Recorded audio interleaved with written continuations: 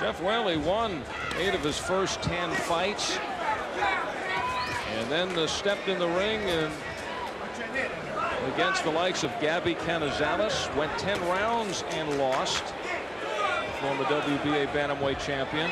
Against Wilfredo Vasquez was stopped in three. Former bantamweight champ. And right now it is Whaley who wails on Southerland.